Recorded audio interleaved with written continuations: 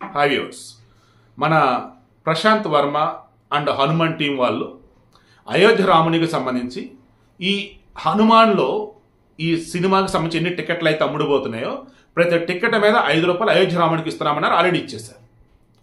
Ayodhya రామయ్యకి already కొన్ని వేల కోట్లు విరాళాలుగా వచ్చింది. అలాంటప్పుడు వీళ్ళు కొంత అమౌంట్ వాళ్ళకని ఇంకొంత అమౌంట్ మన ప్రాంతంలో ఉన్నటువంటి రామాలయాలని అభివృద్ధి చేయడం గురించి ఆలోచిస్తే ఎంత బాగుంటుంది? ఒకసారి ఆలోచించండి. హా, ఎగ్జాక్ట్గా అదే ఆలోచించింది ఈ హనుమాన్ టీం కూడా. భద్రాచలం రామయ్యకి అయోధ్య రామాలయానికి ఆల్రెడీ ఇచ్చున్నాం. ఈసారి మేము ఇచ్చే డబ్బులని భద్రాచలం రామాలయంకి ఇస్తాము. అదేవిధంగా రేపటి రోజు యాభై రోజులు వేడుక మేము నిర్వహిస్తాము. యాభై రోజుల వేడుకలో ఎవరైతే హనుమాన్ సినిమాకి సంబంధించి పనిచేసి ఉన్నారో వారందరూ కూడా మా వంతు ఏవైతే ఇవ్వాల్సినవి ఉంటాయో అవి ఇస్తామన్నట్టుగా చెప్పుకొచ్చారు.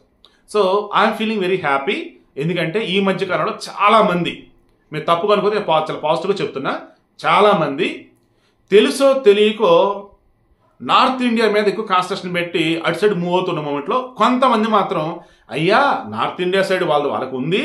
మన సౌత్ ఇండియా సైడ్ ఇటువంటి ఉన్నాయి కదా మరి అవి కూడా ఆలోచించండి అయ్యా అంటున్నారు అలా ఈ అయోధ్య రామాలయానికి సంబంధించి వాళ్ళు ఇలా చేసినప్పుడు ప్రాణప్రతిష్ఠ జరిగింది. సాక్షాత్తు బాలరాముడిని చూస్తున్న అనుభవం అనుభూతి కూడా మాకు కలుగుతుంది. మరి ఈ భద్రాచలంలో ఉన్నటువంటి రామాలయానికి సంబంధించి కూడా చేయాల్సినవి ఎన్నో ఉన్నాయి అయ్యా. ఆ పర్ణశాల అని చెప్పేసి ఉంది చూశారు. అక్కడ అసలు ఎవరు పట్టించుకోవట్లేదు అయ్యా. ఎక్కడదక్కడ వదిలేశారయ్యా. మరి మనవి కూడా మనం బాగు చేసుకోవాలి కదయ్యా.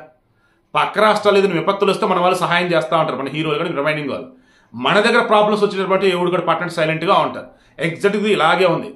ప్రపంచమంతా అయోధ్య రామాలయం అంటూ ఉంటే అటు సైడ్ మనల్ని కూడా మూవ్ అయిపోతున్నారు. మన దగ్గర ఉన్నదాన్ని సమస్య ఆలోచించటరే బాబు అంటే ఏ మాకు పట్టదన్నట్టుగా ఉంటూ ఉన్నారు. బట్ ఇక్కడ ఈ సినిమా వాళ్ళు మాత్రం ఎస్ వీఆర్ రెడీ టు అన్నట్టుగా అడుగులు ముందుకు వేస్తున్నారు. చూసారు ఇది చాలా బాగుందని చెప్పేసి అంతా మెచ్చుకుంటూ ఉన్నారు.